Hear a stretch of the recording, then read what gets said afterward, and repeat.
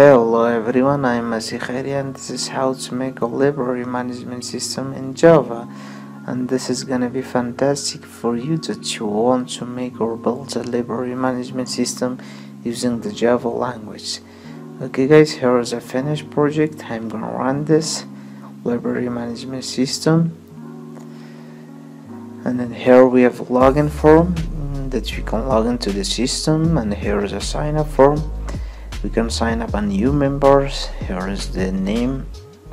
Now we can use agent agents and username agent and password 123 and security question what's your native language?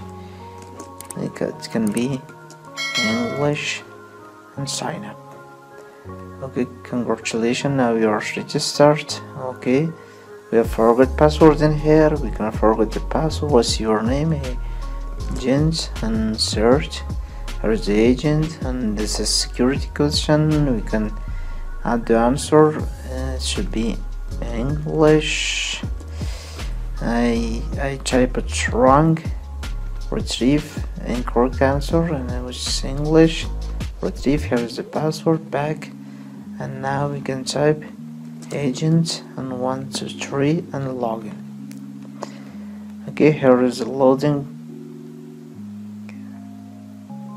Okay guys here is the dashboard of library management system. And here we have a file menu. We can exit and log out. And here is a book. And here are the book list. We can edit the books and back and here are the members. And we can delete the members or add new members. Uh, I'm gonna add some and here's the help. And new book. I'm gonna add a book.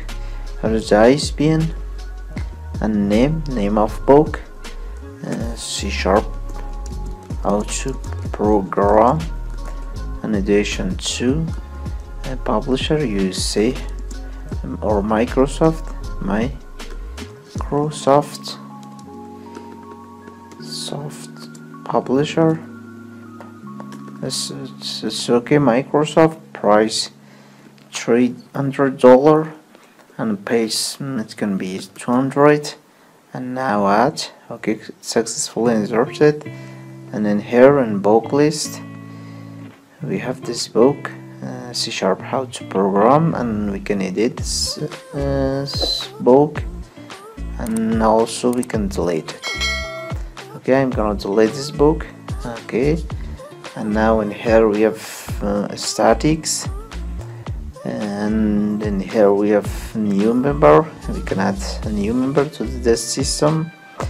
And in here issue book. We can issue some books to someone and written book uh, and and here we have the about of this system. Okay guys and this is the system the library management system and in this series we are going to make this system from scratch up to end and in the next video we are going to make the login form. Thank you for watching and share the video